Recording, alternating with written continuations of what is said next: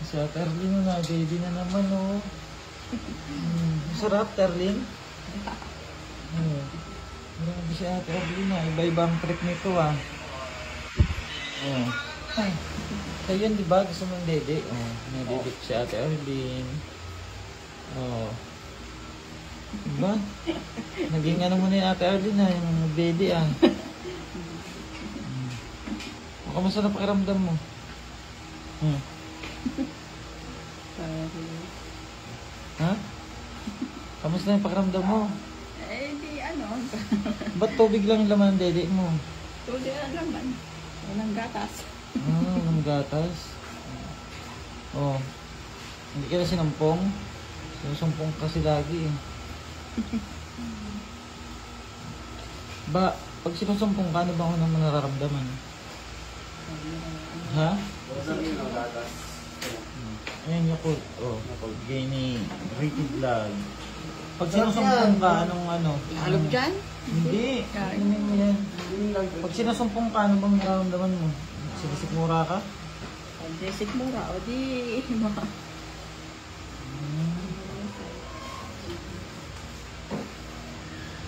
Huwag ka kasi mag-iisip, baka nag-iisip ka kasi ng kung ano-ano. O, yan na ang inumin mo, hindi na yung daddy mo.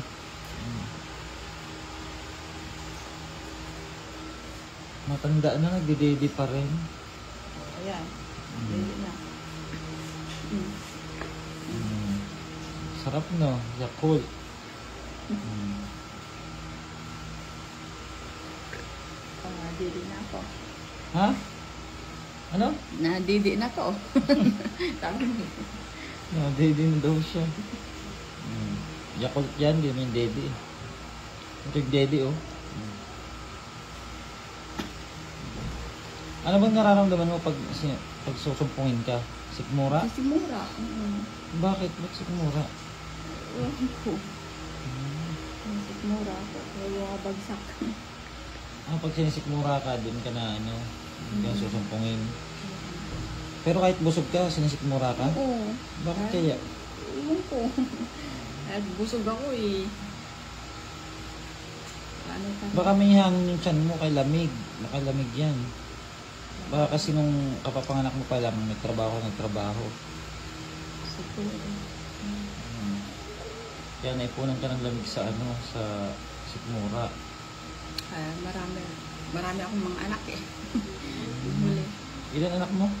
Anim lahat. Hmm. Mm. Yung panganay, ilang taon mo? 20 plus. Ang ang panganay ko, 20 plus. Mga bunso? dalaga na. Mga dalaga na yung ano eh. Bunso. Ang bunso is ano, 10 yata yun. No? 10. Ang kambal kasi. eh. Hmm. Kambal. At huwag ka mag-iisip para ano, umayos na yung, yung ano, hindi na sakit lagi yung ulo mo. Tapos, bakit kaya gano'n? Sinisikmura ka kahit busog. Hmm, Kahit, si, kahit busog eh, sinisikmura pa rin. Sabi na, kagat ka doon ng aso. Nakagat ka ba ng aso? Ha? Kagat? Nakagat ka ng aso? Nakagat ako ng aso din. Oo. Doon sa ano. Saan? Doon sa Nagpa-ano ka? Nagpa-doktor ka? Hindi naman, nilagyan na lang ano. Hindi. Nilagyan lang ng... Hindi nilagyan ng ano. Ay, hindi ka tinurukan? Hindi. O baka yung saninang pag-ano mo, minig-minig. Ha? Yung pag minig-minig mo. Baka yun ang sanhi. Nasangge lang ano. Yung pag sinusumpong ka, baka yun yun. Pero takot ka ba sa tubig? Hindi ka naman takot sa tubig. Pag ano, wag lang sobrang baba din ng tubig kasi. Yung pag malamig. Mm. Oh, hindi naman yun. Baka talagang may ano ka. Lamig. Nagpa-doktor ka ba dati? May sakit ka daw talagang epilepsy? Oo, Paano nagpaano may ako. sakit ka ng epilepsy? Tapos may, may gamot na nga ako sa bahay na iwan pa nga iba doon. May iniinom ako ng gamot eh. Ganun pa rin namin eh. Pag iniinom mo yan, sinusumpong ka. May, oo, sisik mo pa pa rin. Pero tapos sinusumpong ka pa rin. Oo, kahit nainom ako. Hmm. Ano kaya yun? eh? Dapat makakontrol na yun. Kung nainom ka ng sa ano, sa gamot para dun. Anong sabi ng mga ano mo, ng pamilya mo na may ganun ka? May ganun ka sakit? Oo, may ano. Ngayon lang naman to eh, nung simula lang, nanganak ako, di ba? Ngayon Hmm. lang. Anong sabi ng pamilya mo? Ayun, pina, ano naman ako, pinag-doctor naman ako eh. Yun ang epilepsy nga raw eh. O ngayon, hindi hindi ka pinapasyalan, hindi ka pinupunta ng pamilya mo. Ano masasabi mo sa kanila? Ha? Pumunta rin naman dito eh. Hmm? Pumunta dito yung, Yung isa kapatid. lang yun, yung kapatid mo doon. Sa- Kapatid mo ba yun? O anong sabi ba sa'yo pumunta? Pumunta dito. Yung kapatid ko, yung pumunta dito isang beses. Hmm.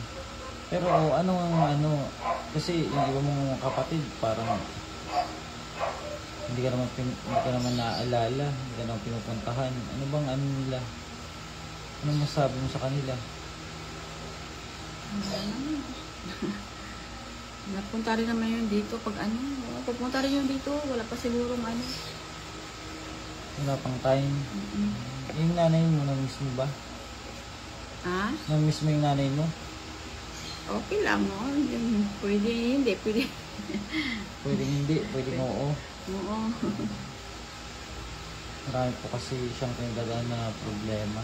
Andun siya. Ay, oo nga pala, pumunta pala yung isang mong kapatid, di ba? Oo. Pero yung ano yun, yung la- lalaki ba yun, babae? Yung lalaki. Lalaki. O anong sabi lang sa'yo? Ala, alam, basta alam, nandito lang daw ako. Di. alam na. Ay, yung mga kapatid mong babae. Kapatid kong babae. Hmm. Ano naman eh. Andun na, meron din doon. Sa ano. Hindi na punta dito. Baka busy siya. Ba maraming alaga. Hmm. May mga anak nila dito. Eh, yung ano mo doon, pamilya mo sa Cavite. Sa Cavite. Ano, si mama lang naman eh. Si mama lang at saka ano, mga kapatid ko yun lang. Eh, Wala. yung anak mo. Mga anak ko. Hmm. Nasa ano, nasa ano kasi yung anak ko, nasa Samar. Lahat? Yung isa lang, tapos yung, ay yung, ano, ah, yung isa lang dito, tapos sa Samar yung isa, tapos iba iba sa Cavite, yung mga maliliit pa, oh, Hmm. mga tag, ano. Kaya mo at pag ano, pasyal tayo sa Cavite para makita mo yung mga anak mo. Ah, pasyal ka doon. Gusto mo ba? O, Pumasyal sige. doon? Papasyalan natin. Basta may pasalubong din. Hmm. may ano bang pasalubong. ano? Alam mo yung address niyo doon? Oo. O, sige, Doon ikaw magturo ng ano. address ha pag pupunta tayo doon. Pag mag-schedule tayo para makita mo yung mga anak mo. Andun naman sa Ba't may ano. miss mo na sila? Miss mo na sila? Diba sa Landayan, alam mo yung Landayan, lugar Hmm. na Landayan. Oh, doon lang naman malapit eh. Malapit lang sa palengke. Mm, Manila, doon oo. sa Cavite. Oo. Sa Binakayan. Na-miss mo ba yung ano, mga anak mo? Siyempre, gusto ko rin makita. Mm, miss pa na tayo din yung mga anak niya. Ngayon, mga ano pa isa mga bata pa yun. oh. O anong masasabi mo naman na, di ba nung, nung dati, naglalakad ka sa kalsada, parang wala ka sa sarili. Anong masasabi mo na may mga nakakuha sa iyo, ng mga tao na ano, yung tulad namin na kinupkup ka raw, talagang sinundan-sundan ka namin o dahil baka mapahamak ka sa kalsada. Anong masasabi mo? May, mayroon nga eh. Mayroon nga nagyayakag sa akin din eh. Eh, Hindi ako sumama eh. Mm, mayroon. O sa amin, ano masasabi mo na talagang hindi ka namin pinabayaan sa kalsada kasi kung hindi ka namin talaga inano doon, sinundan-sundan, wala. Ewan namin kung saan ka nakarating ngayon. O ano masasabi mo? Papasalamat ka ba na Ay, pasalamat lang. na ano na nakita ka namin dahil kung hindi 'di ba paano na kaya ngayon sa at Arlene nasan na kaya 'di ba Hmm. nasan ka na kaya ngayon siguro napalayo na nang napalayo hmm, 'di ba eh, marami pa namang mga tao na iba rin ang ano sa ano mga hindi ba yung mga kasi ang tao di ba may buti may masama. Malay mo, nakatagpo sa iyo yung mga masama o di paano na lang. Hindi imbis maayos ang buhay mo, wala, lalong gugulo. Hmm. Yan po ang update natin mga kababayan kay Ate Arlene at sa ngayon po ay okay siya. Ano, ah, nakausap naman na. Yun nga lang po, mayroon nga daw siyang epilepsy at sinusumpong-sumpong siya. At ang senyales pag susumpungin daw siya is na ano yung sikmura niya. Mm. Maraming salamat po mga kababayan at ayun po yung daddy ni Ate Arlene no. Oh, nag-ano na siya. Eh, maraming salamat po and God bless po. Thank you so much.